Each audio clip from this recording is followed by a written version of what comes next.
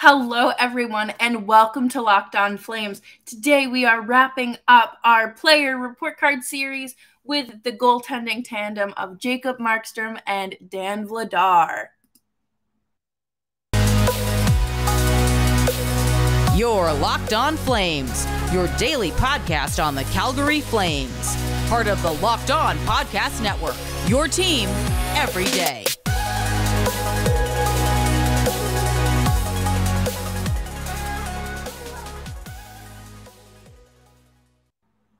Thank you, everyone, so much for tuning in to another episode of Locked On Flames. As always, I'm your host, Jess Belmosto, and today's episode is brought to you by Bet Online. Bet Online, where the game starts. Today, we are discussing goaltenders Jacob Markstrom and Dan Vladar because this was an interesting pair, a very interesting goalie tandem, and at one point, they were the best in the league. Um, and there's a lot to dissect there. So the expectations were very high for the goaltenders this year. Dan Vladar was brought in um, from a trade with the Boston Bruins last offseason. He wasn't really getting any sort of significant uh, playing time because the goalie pipeline in Boston uh, was significantly crowded. It still is kind of crowded, but it's not like he wasn't progressing uh, at a good speed or it had anything to do with him. It was just uh, time for them to move on. And Calgary was a perfect home for him. And Don Sweeney and Brad Treliving made it happen.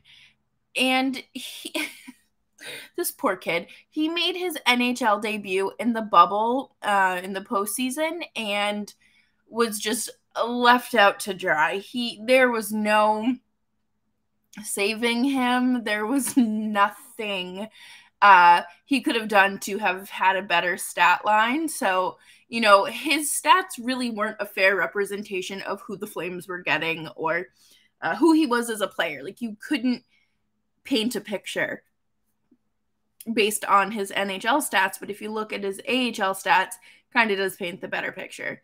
And I think that the acquisition, the acquisition uh, was perfect for the Flames since they were without a backup.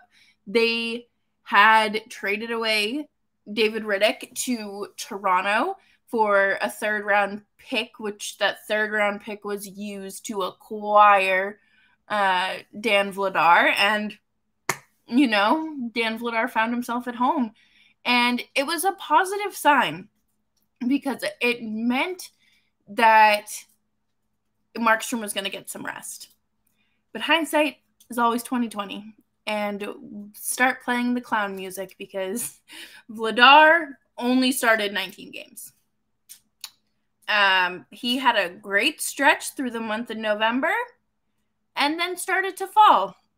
It was kind of hard to watch. I'm not going to lie because he had shut out uh, a few teams in November and had immaculate, immaculate performances, and then goes off a little bit, and then all of a sudden he allows 10 goals in two games against Carolina and Tampa Bay, who were arguably two of the best teams in the league at the time and were throughout the whole season pretty much and I feel like that point was at that point Darryl Sutter knew that he wasn't going to be able to use Vladar the way that he maybe wanted to.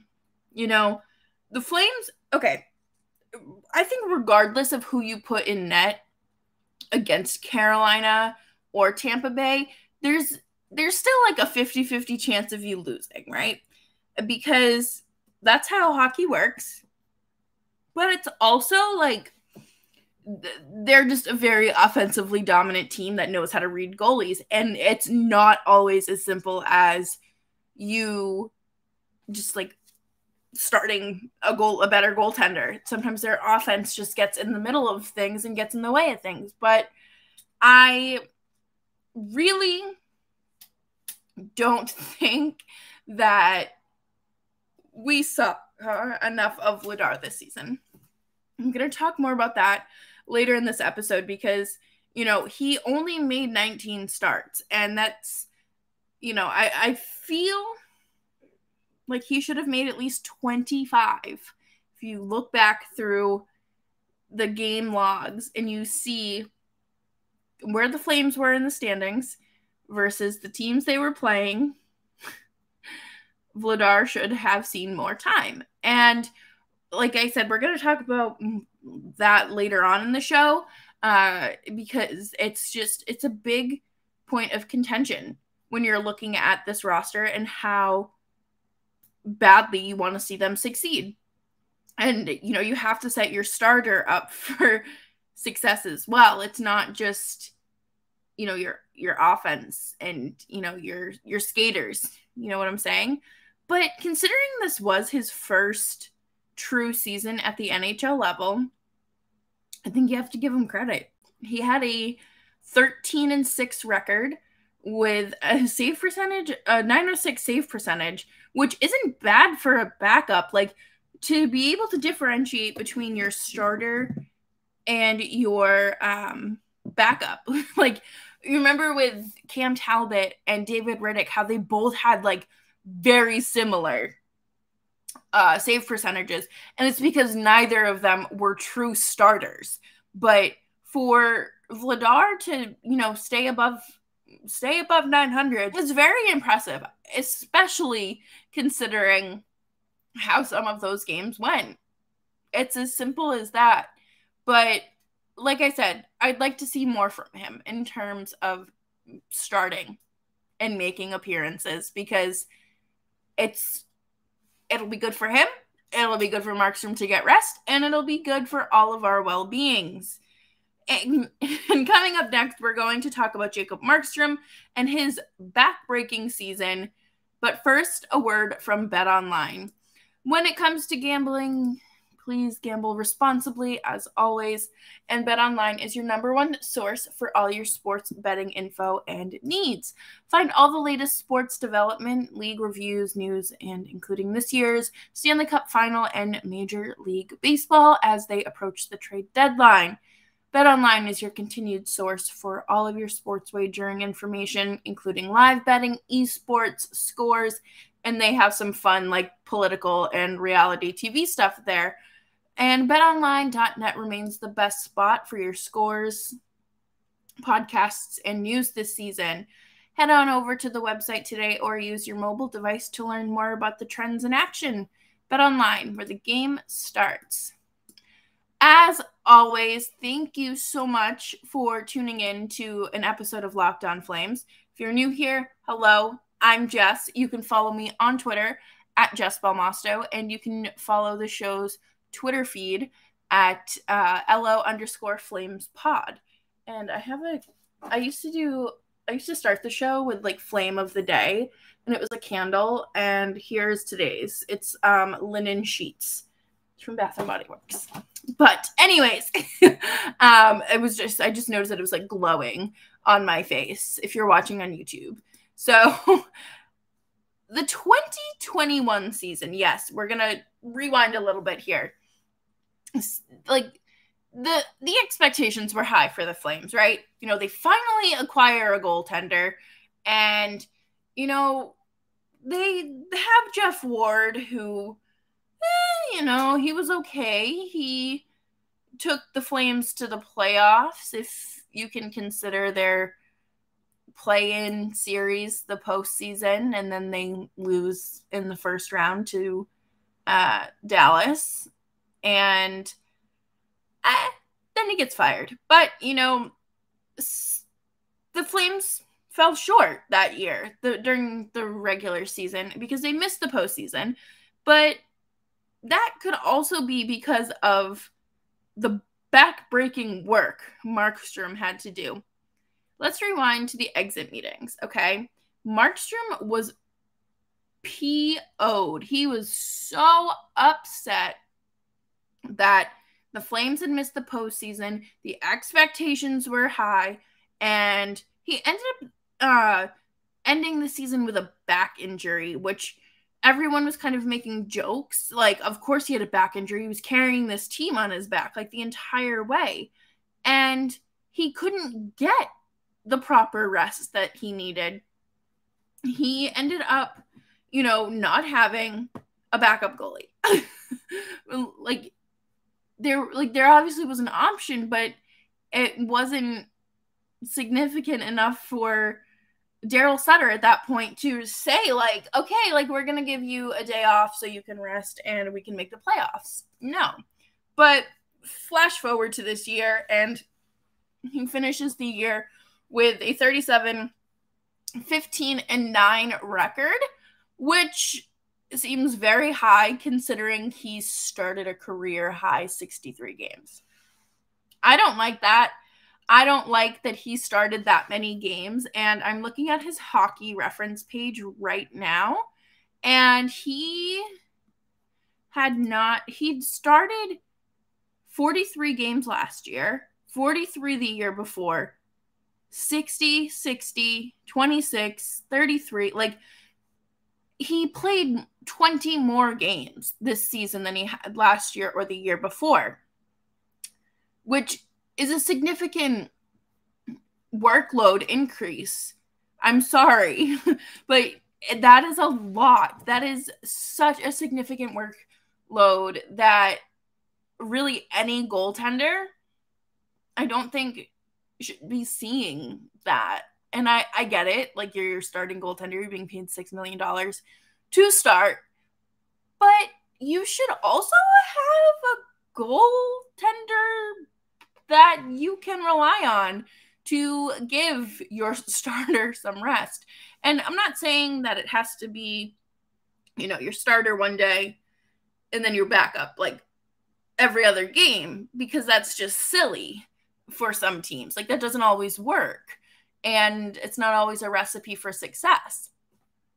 If the Flames had a backup goalie they could do that with, I still don't think they would do that method. I don't. Um, but there were absolutely games he could have sat out. Like the games that were late in the season against Arizona, New Jersey, Chicago, and anyone who was so far out of the playoffs that it didn't matter if they lost. You know what I'm saying? Like it would not have been the worst thing if if he sat out against, you know, um this game in February against uh Seattle or let's even go f- later into the season. Um Chicago uh, in April 14th, which Chicago was very much out of a postseason picture at that point. Uh, Seattle again in April 12th, Seattle April 9th. And I, I can kind of get, I guess. Um, LA Kings, yes. St. Louis, yes. But this game against Arizona, San Jose, Buffalo, Devils, Detroit, like that stretch of games right there could have been broken up. And I don't think it's fair for Markstrom to have to play the no brainer games where he should be sitting out. And for obviously, like, I'm not a hockey coach, I don't possess the hockey IQ that Darryl Sutter has, that Bruce Cassidy has, that, well, probably more than Pete DeBoer. But you know what I'm saying? Like, I'm not Barry Trotz, but I do have a little bit of common sense. It does not make sense to drive your goaltender into the ground when you're looking to make a deep run into the postseason, especially when it looks like you can make that run into the postseason. It just does not make any sense. And I get it. Sutter is stubborn. Old habits are hard to break, but this, it just doesn't make sense. And then, you know, overall, he did have a really good season and he made ridiculous saves that looked so easy. And when someone does something that looks effortless, effortless and easy, it means they're really talented. Because you watch hockey and you see the you see how easy Cale Makar and Connor McDavid make looking these video game cheat code esque goals look. You look at Ben Oettinger at his goals. You look at Jacob Markstrom and some of the saves he makes. Okay, well, let's look at um, Maddie Ziegler on Dance Moms and how easy she made dancing look and some of those, you know, ballet moves and whatnot. Like, it goes for everything in life, right? But on top of those really good performances, there were still performances that were a cause for concern. And I'm talking about him leaving the crease. That is a red flag. And that is when you know he's tired, he's bored, or not so much bored. He's tired or he's dealing with an injury. That is just something to keep in mind. But we do need to talk about the postseason. We're not we're not avoiding that in the slightest. But he wasn't bad during that Dallas series. And I think people were annoyed that, you know, it wasn't this offensive, crazy, dominant game where you're getting, uh, you're scoring seven goals and, you know, you're embarrassing one goalie. Jacob Markstrom and uh, Jake Oettinger. Did I call him Ben Oettinger earlier? I don't know. I, he I don't know why I always want to call him Ben, but Jake Oettinger looked so like they both looked so good. It was like the young blood versus the seasoned veteran, which is something that has been a reoccurring theme on this podcast this postseason or this off season rather. And I don't hate what we saw from him. I think that him and Mike Smith did some sort of Freaky Friday body swap during the Edmonton series because there is simply no way that that was Jacob Markstrom between the pipes. There, that was not good. But to say that he had like a really bad postseason performance is a joke. He finished with a 926 save percentage, which is a lot higher than I expected, considering that the Oilers stats didn't entirely skew his stats. But it do- it just doesn't make sense to me to sit here and say, "Oh, the Flames needed to get someone better than Jacob Markstrom and they needed to uh, go out and overspend on a goalie. Like they should have done something to get Marc-Andre Fleury or something." They were looking for a long-term piece here and they found Jacob Markstrom who was willing to take less money to play in Calgary than Edmonton do not ever let that escape you. Don't. Coming up next, we're going to talk about the future of this tandem and why I don't think that this is going to be a long term picture. Thank you all so much for tuning into Locked On Flames. As always, I'm Jess Belmosto, and please make sure that you are subscribed wherever you listen to this show. We're available on uh, every podcast platform, including YouTube. Dan Vladar enters uh, this post. I keep calling postseason. This off season as a, an unrestricted free agent, and I truly think it would be a dumb move to let him walk. I don't think that uh, Dustin Wolf is ready to make his NHL, you know, that jump yet. I think he needs a few more years which is fine because you don't you do not rush talent like that. You you know when it's time and I don't think it's that time. But back to Dan Vladar. He played his first season in the NHL this year and was a good backup.